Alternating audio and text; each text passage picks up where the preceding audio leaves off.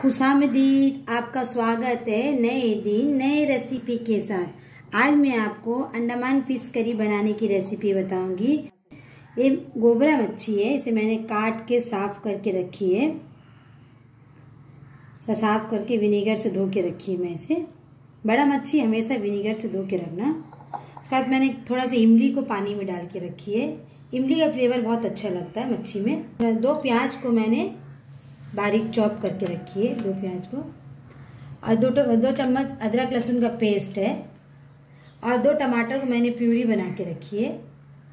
Curry leaves है। और तीन टो हरा मिर्ची है। मसाला में हल्दी पाउडर हाफ़ चम्मच, मिर्ची पाउडर हाफ़ चम्मच, धनिया पाउडर एक चम्मच, कश्मीरी मिर्ची एक चम्मच और गरम मसाला एक चम्मच। आप झाल अपने हिसाब से डाल सकते हैं।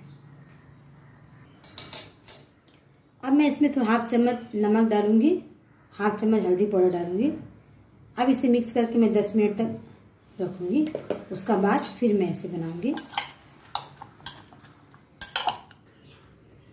ये पाँच पोरा में, इसमें जीरा, सौंप, मेथी, राई और कलौंजी रहता है। जब मैं फ़ीस बनाती हूँ तो मैं यही डालती हूँ। इसमें बहुत अच्छा फ्लेवर आता है अचार का फ्लेवर आएगा। तेल हमारा गर्म हो गया है। मैंने मस्टर्ड ऑयल लिए मस्टर्ड ऑयल अच्छा से गर्म होने के बाद इसमें हम लोग ये डालेंगे, नहीं तो उसका स्मेल रहेगा। जो मैंने पाँच पोरम दिखाई थी, वो ऐड कर देंगे। वो अच्छा से चटकने लगेगा। मैंने दो प्याज को बारीक चॉप करके रखी हुई प्याज को, वो भी ऐड कर देंगे।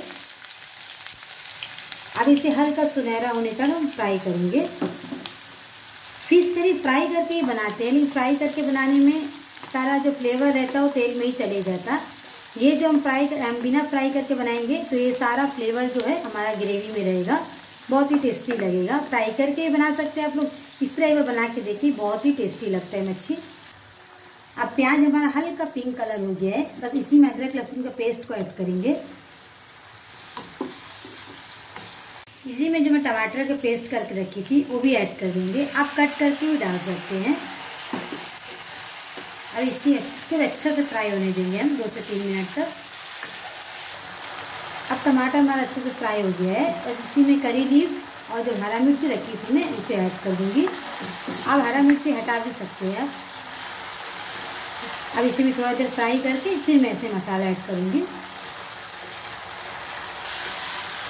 अब हमारा प्याज, टमाटर सब अच्छे से फ्राई हो गया है। बस इसी में जो मसाला मैं दिखाई थी, वो सब मसाला को इसी में ऐड करूँगी। ये जो करी है, ये प्लेन राइस के संग बहुत ही अच्छा लगता है। खाने में बहुत अच्छा टेस्ट लगता है।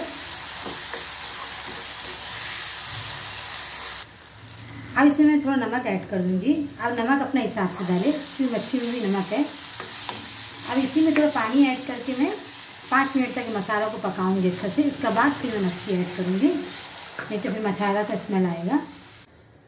पाँच मिनट हो गया अब मैं मसाला चेक करेंगे। मसाला हमारा अच्छे से फ्राई हो गया है। अब गैस को मीडियम में रखेंगे। इसका बाद मच्छी है, उसे मैं ऐड कर दूँगी।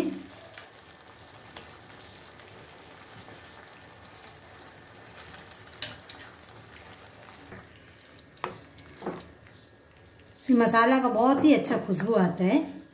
करी लीव्स का बहुत अच्छा खुशबू आता है। अब मैं इसमें पानी डालूँगी। अब अपना हिसाब से ग्रेवी रखें। अब इसे पाँच से छः मिनट में और पकाऊँगी इसे। अच्छा से उबलने के बाद फिर मैं इसे मीडियम करके पकाऊँगी। उसका बाद मैं खट्टा ऐड करूँगी। अब हमारा पाँच मिनट हो गया है। गैस को मैंने सिम में रख के पाँच मिनट तक पकाई है। बहुत ही अच्छा खुशबू आता है। अब इसी मैं कसूरी मेथी है, एक चम्मच क्रश करके रखी थी, उसको ऐड कर दूँगी। ये ये जो चिकन फ़िश करी है, मेरे पापा को बहुत ही पसंद था। बहुत शौक से खाते थे। मैं बनाती थी तो उसे बहुत ही पसंद था। अब मेरा अबू दुनिया में नहीं है। आप सब मेरे अबू के लिए दुआ करिए। उसके साथ मैं खट्टा जो मैश करके रखी थी, पानी निकाल के प्यूरी है, उसे ऐड कर दूँगी। अब इसे मैं दो मिनट तक पकाने के बाद फिर मैं आपको सेट करके दिखाऊँगी। ये टाइम आप सब नमक उमक सब चेक कर ले फ़िश हमारा अच्छे से पक गया है। और दो मिनट रखने के बाद फिर मैं इसे आपको दिखाऊँगी। अब हमारा अंडमान स्टाइल फ़िश करी बन के तैयार है। ये बहुत ही टेस्टी लगेगा। हम प्लेन राइस से खाई से रोटी से भी अच्छा लगेगा। रोटी से भी खा सकते हैं आप लोग। प्लेन राइस के साथ ही खा सकते हैं। एकदम सिंपल है, आसान से सभी अपना घर में आराम से इसे बना सकते हैं। इस तरह का बना के देखिए, इसमें क्या है? फ़िश जो है बहुत ही सॉफ्ट रहता है, ऐसी तोड़ने से टूट जाएगा। जो फ्राई करने से तो हल्का सख्त हो जाता है। फ़िश करी का रेसिपी आपको पसंद आया हो तो प्लीज़ मेरे चैनल को लाइक भी करें सब्सक्राइब भी करें और कमेंट भी करें शेयर भी करें। Thank you